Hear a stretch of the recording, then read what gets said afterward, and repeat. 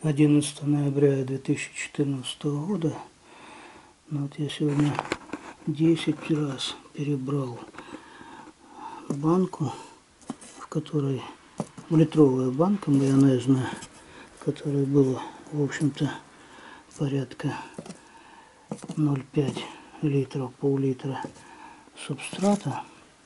И выбрал оттуда, вот как видим, 35 дендробиона рубида. Вот они.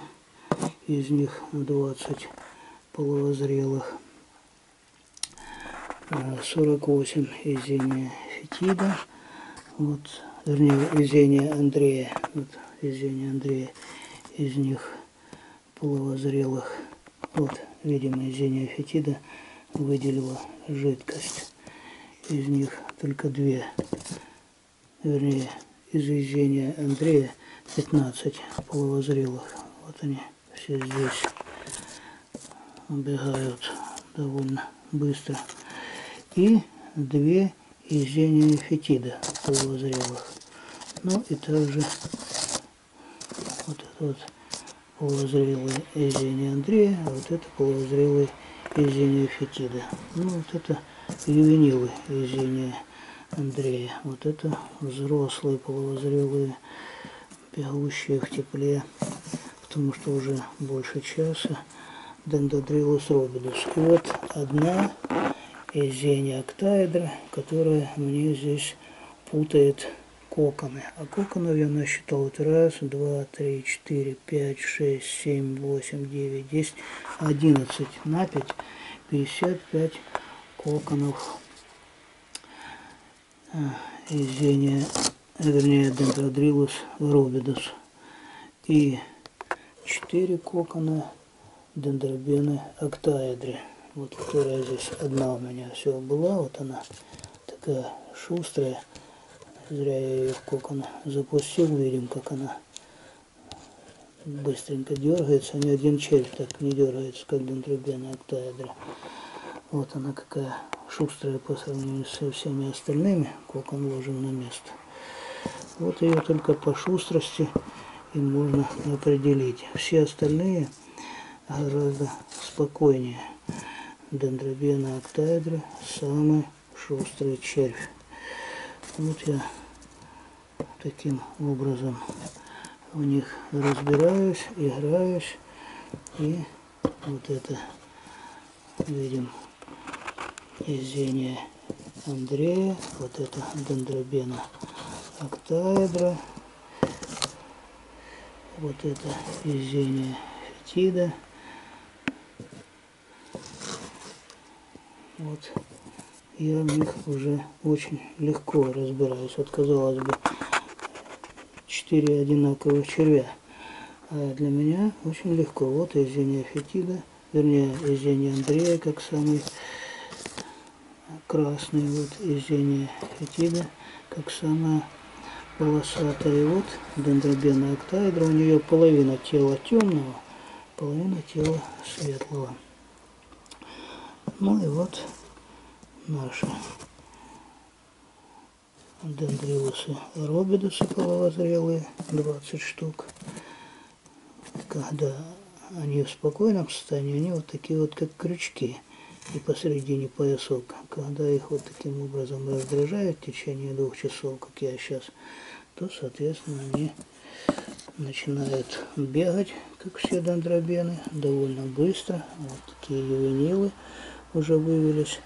И при такой низкой температуре, вот его характерный вид, при такой низкой температуре, как сейчас они на балконе у меня сидят, соответственно, вот уже замученная дендробена октаэдра, вот она иридирует. Изение фетида спряталась под коконы. Я к чему это вам говорю, что я бы никогда не поверил еще два года назад, что я вот так буду с майонезными баночками играться. И вот я сегодня 10 раз перебирал этот компост, раздавливал ложкой для того, и каждый раз находил по 5 коконов дендродрилусов рубиусов. Задачу я себе спортивную такую поставил, все-таки выявить вот эти, разрушить все легенды, какая плодовитость и какая скорость набора массы у тех или иных червей. Ну и постараюсь выявить также продолжительность жизни. Вот я вам показал, показал сегодняшние результаты. Вот они записаны у меня в табличке. И должен сказать, что вот в такие холода, как сейчас, эти, эта коробка у меня стояла с 20 сентября на балконе. И видим, что даже в такие холода спокойно у нас дендродрилус рубидус откладывает коконы. И дендробена октаэдра. Все остальные черепчишки не из Андрея, не из фетида. Вот она полосатая. И вот я ее из, из Андрея выбираю. Эти коконы сейчас в такой холод не откладывают.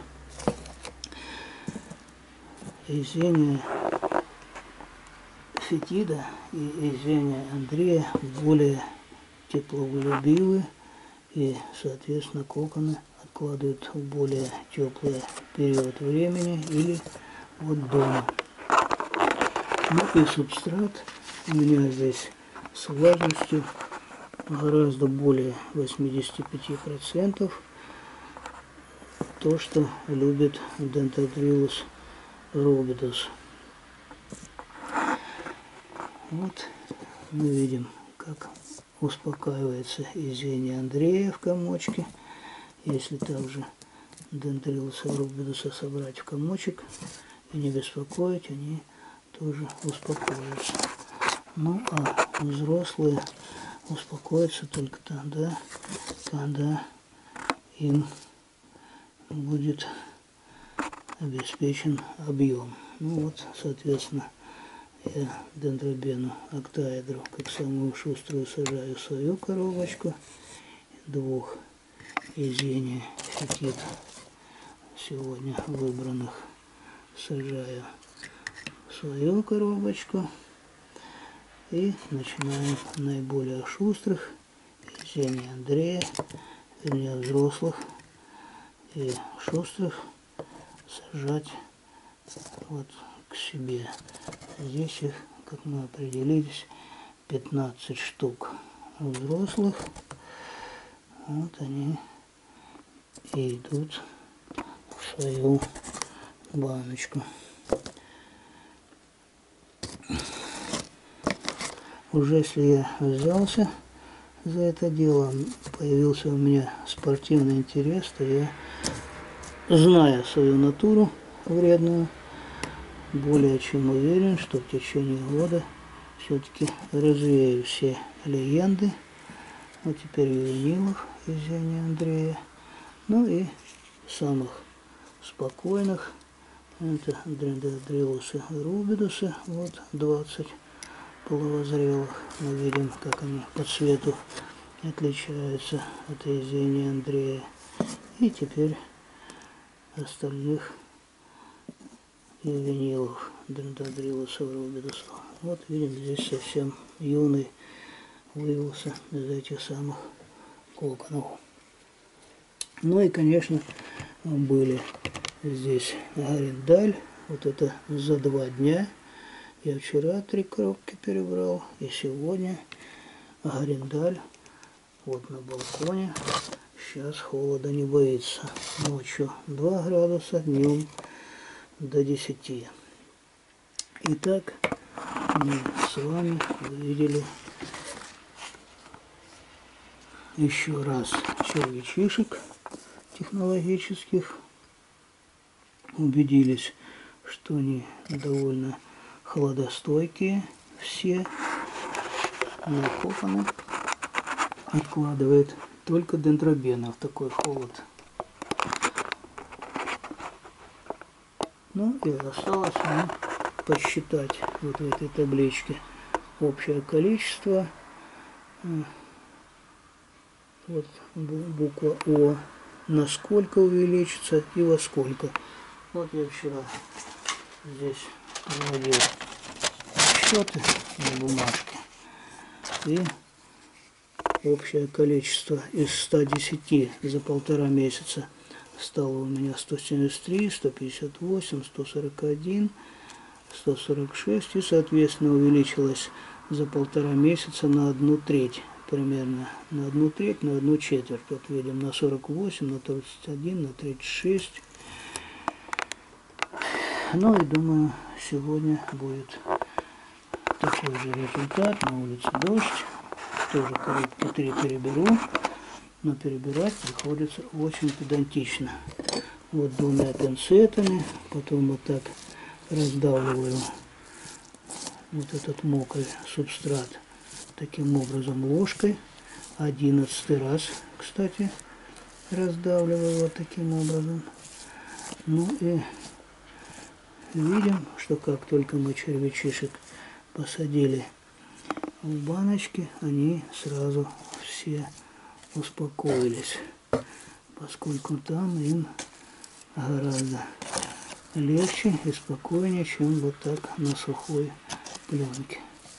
Ну и вот видим, что вот одиннадцатый раз я перебираю, и все равно одного кокона изения, вернее дендродрилуса рубидуса я нашел. Это будет 106. Ну и потом вот таким образом еще пинцетами. То, что раздавлено ложкой, вот таким образом пинцетом ну, двумя обычно, сейчас у меня рука занята камерой, вот таким образом еще пинцетом. Вот это уже будем считать, не только более педантично, будем считать уже 12 переборка за сегодня помощью пинцета. Даже не предлагаю вам таких же экспериментов, таких же результатов, поскольку в более юном возрасте, так скажем, я был способен выбирать вот так вот педантично пинцетом только на продажу. Так, это у нас Зеня Андрея. Только на продажу. Выбирал, конечно, я их все эти годы, все 14 лет вот так пинцетом, но статистику как таковую не выбирал. И тем более вот такие мелкие коконы тоже не пытался даже собирать и выбирать. А теперь это делаю, и мне это почему-то интересно. Даже без радио, без телевизора. Вот так могу сидеть спокойно 4-5 часов. Больше уже не выдерживает глаза. И в сильных очках вот таким образом многократно перебираю субстрат с единственной целью выявить для себя вот еще один кокон. Вот еще один кокон за одиннадцатый раз. Не зря я ковырялся. Это уже будет 107 -й. Для себя выявить и разрушить вот эти легенды, а может и вправду такая плодовитость, но судя по дендродрилусу рубидусу, я думаю, что даже плодовитость будет выше, чем 1500 особей. Вот еще при вас ковыряюсь, и вот еще 108 кокон дендродрилуса рубидуса. Но следите за моими забавами на канале YouTube, печатать и